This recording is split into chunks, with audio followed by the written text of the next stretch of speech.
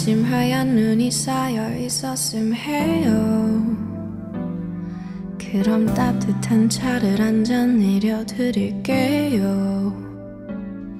계속 내 옆에만 있어주면 돼요.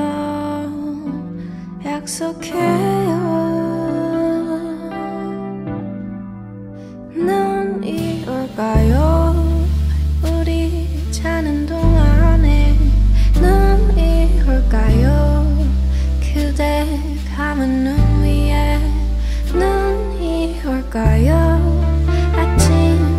커튼을 열면 눈이 올까요?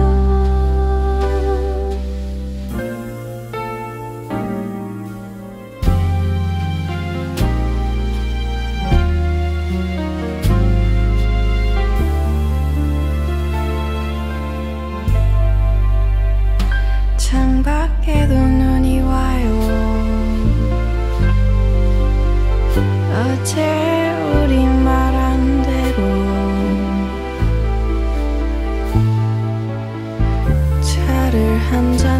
차